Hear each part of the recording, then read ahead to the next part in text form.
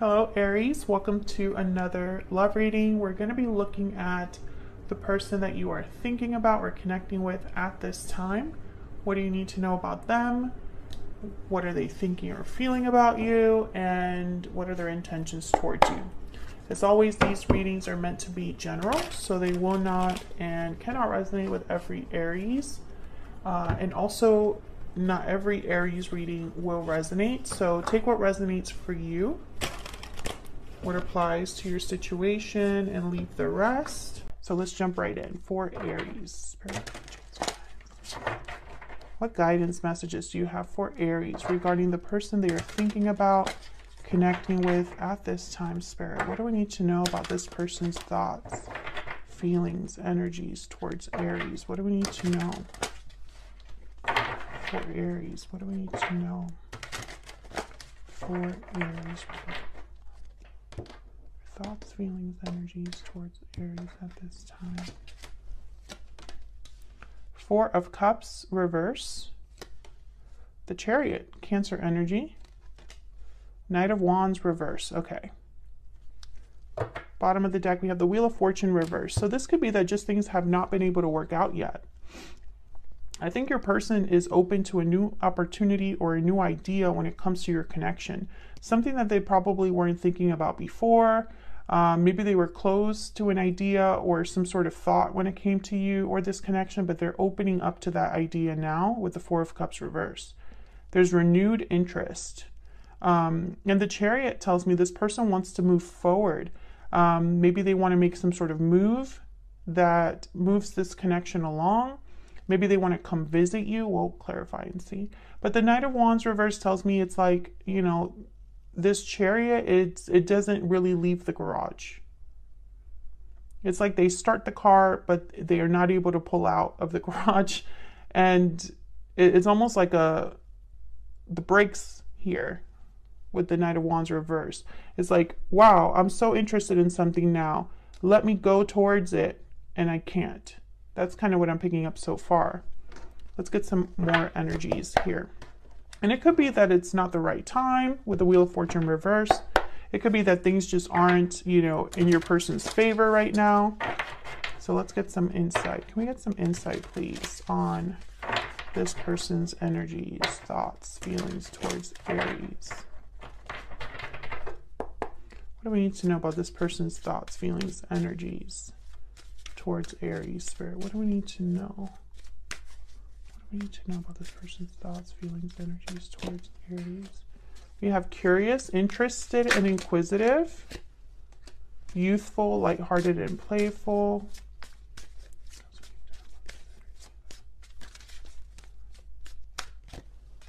Taking action, that's the chariot right there. Can we get one more? And romantic, charming, and passionate. So I'm getting a lot of Stellar Rainbows um, oracles, which they're kind of like um, my oracle deck for like traits. Um, describes people's, um, I guess their their intentions. Um, bountiful harvest. So uh, when I see all of these together, I get someone that's very motivated by how they feel. They're also very curious, they're interested, and then there's the true love energy at the bottom of the deck. So again, I feel like there's someone here that's really it's like something has happened to inspire them again or motivate them again to have something with you or to take actions towards you. Um, they feel lighthearted and playful, so in romantic. So I'm getting almost like they're giddy, they're excited, and they see potential here with Bountiful Harvest. They see something that could grow, that could manifest. So why the Knight of Wands reverse, right? That's really the, the issue that I see here. Get some more insight, please, for Aries. Clarity, insight, for Aries regarding these animals. So let's break this down. Tell me about the Four of Cups reverse. Why is the Four of Cups reverse here for Aries? Justice, Libra energy, and the Ace of Cups. Oh, yeah, someone's definitely open to the idea of fixing something to do with love, making this right, um, restabilizing, rebalancing a situation. And they're thinking about it in a very logical way or a very decisive way.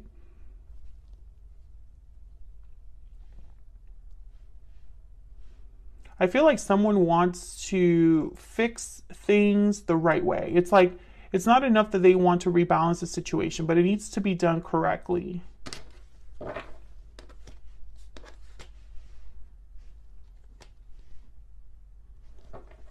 All right, tell me about the chariot. Why is the chariot here? Two of Swords. Yeah, this there's a block here with the Chariot. I'm telling you, it's someone that's not able to. It's like they they get in the car, but they can't leave the house. Maybe there's indecision tied up here. Maybe there's a block. Tell me about the Chariot. Why is the Chariot here? Oh, Two of Cups. So maybe there's insecurities about how you feel or about a connection I really hope that they're not stuck somewhere else. King of Pentacles is here, Three of Wands. Hmm. Can I get one more for the Chariot? Why is the Chariot here? Why is the Chariot here? Ace of Wands and the World. Oh, wow. Yeah, this would be a complete new start. And there's the Eight of Swords. So again, there's that block that just keeps showing up.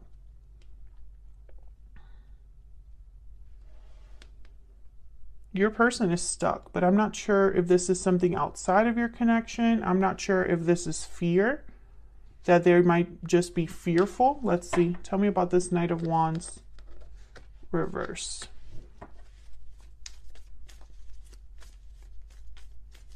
Why is the Knight of Wands reverse, Spirit? Why is the Knight of Wands reverse? Oh my God. The Hierophant. Taurus energy, and the Emperor. Aries, there you are. I think your person's tied up with if it's not another commitment, it's an I it's um how do I explain it? They're bound by the expectations they've set on themselves. So if they're not in a connection with someone else, if they're not in a marriage or a long-term commitment, they're bound by some sort of promise or some sort of expectation that they said they, you know, it's like, I need to take care of this by myself.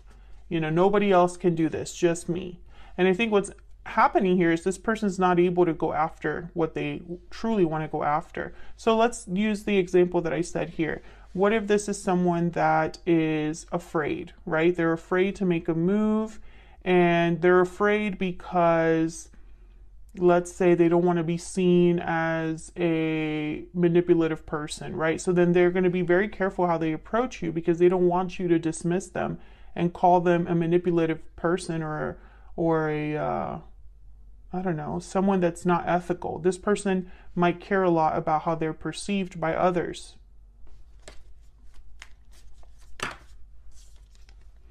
Five of Cups, yeah. What's this? and the Queen of Cups. So a lot of love feelings here, but I think this person, if they're not careful, you know, they might miss out. Um, if they are in a connection already, if they are in a commitment, then yes, they would need to make a difficult decision, end a cycle to start a new one. And, and you know, that's difficult. If they are bound by their own fears, their own expectations on themselves, they need to get over that.